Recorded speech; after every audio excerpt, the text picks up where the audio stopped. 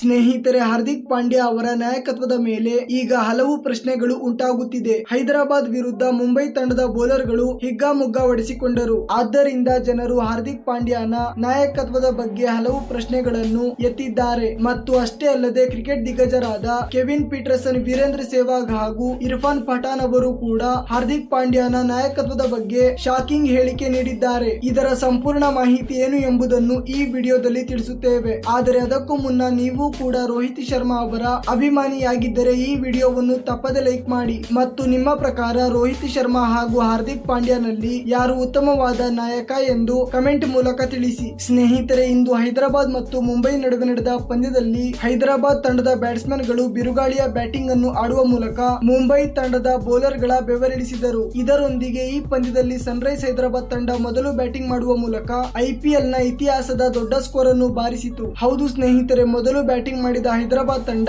ಇಪ್ಪತ್ತು ಓವರ್ಗಳಲ್ಲಿ ತನ್ನ ಮೂರು ವಿಕೆಟ್ ಅನ್ನು ಕಳೆದುಕೊಂಡು ಇನ್ನೂರ ಎಪ್ಪತ್ತೇಳು ರನ್ಗಳ ಟಾರ್ಗೆಟ್ ಅನ್ನು ನೀಡಿತು. ಈ ಪಂದ್ಯದಲ್ಲಿ ಜಸ್ಪ್ರೀತ್ ಬುಮ್ರಾ ಅವರನ್ನು ಬಿಟ್ಟು ಮುಂಬೈ ತಂಡದ ಪ್ರತಿ ಬೌಲರ್ ಹಿಗ್ಗಾಮುಗ್ಗಾ ಹೊಡೆಸಿಕೊಂಡರು. ಈ ಪಂದ್ಯ ಮುಗಿದ ನಂತರ ಒಂದು ಬಾರಿ ಮತ್ತೊಮ್ಮೆ ಸೋಷಿಯಲ್ ಮೀಡಿಯಾದಲ್ಲಿ ಮುಂಬೈನ ಹೊಸ ನಾಯಕನಾಗಿರುವ ಹಾರ್ದಿಕ್ ಪಾಂಡ್ಯ ಅವರನ್ನು ಟ್ರೋಲ್ ಮಾಡುತ್ತಿದ್ದಾರೆ. ಏಕೆಂದರೆ ಪಾಂಡ್ಯನ ನಾಯಕತ್ವದಲ್ಲಿ ಮೊದಲ ಬಾರಿ ಮುಂಬೈ ವಿರುದ್ಧ ಯಾವುದೇ ತಂಡ ಇಷ್ಟು ದೊಡ್ಡ ಸ್ಕೋರ್ ಅನ್ನು ಬಾರಿಸುವಲ್ಲಿ ಯಶಸ್ವಿಯಾಯಿತು. ಇದರ ಬಗ್ಗೆ ಮಾತನಾಡಿದ ಕೆವಿನ್ ಪೀಟರ್ಸನ್ ಅವರು, ಇದು ಯಾವ ರೀತಿಯ ನಾಯಕತ್ವ? ಜಸ್ಪ್ರೀತ್ ಬುಮ್ರಾ ಅವರು ಮುಂಬೈನ ಮೇನ್ ಬೌಲರ್ ಆಗಿದ್ದರೂ ಕೂಡ ಹನ್ನೆರಡು ಓವರ್ ಗಳವರೆಗೆ ಅವರಿಗೆ ಕೇವಲ ಒಂದು ಓವರ್ ಅನ್ನು ನೀಡಲಾಯಿತು. ಹಾಗೂ ಕಳೆದ ಪಂದ್ಯದಲ್ಲಿಯೂ ಕೂಡ ಬುಮ್ರಾ ಅವರಿಂದ ಮೊದಲ ಓವರ್ ಅನ್ನು ಮಾಡಿಸಿರಲಿಲ್ಲ. ಮತ್ತು ಈ ಪಂದ್ಯದಲ್ಲಿಯೂ ಅವರಿಗೆ ಮೊದಲ ಓವರ್ ನೀಡಲಿಲ್ಲ. ಇದನ್ನು ನೋಡಿದರೆ ಗೊತ್ತಾಗುತ್ತೆ ಪಾಂಡ್ಯನ ನಾಯಕತ್ವ ಎಷ್ಟು ಕೆಟ್ಟದಾಗಿದೆ ಎಂಬುದು. ಹಾಗೂ ಈಗ ಪಾಂಡ್ಯನ ನಾಯಕತ್ವದಿಂದ ಇಡೀ ಮುಂಬೈ ತಂಡವೇ ಹಾಳಾಗುತ್ತಿದೆ ಎಂದು ಹೇಳಿದರು. ನಂತರ ಕೋಪಗೊಂಡ ಇರ್ಫಾನ್ ಪಠಾನ್ ಅವರು ಮಾತನಾಡುವ ಮೂಲಕ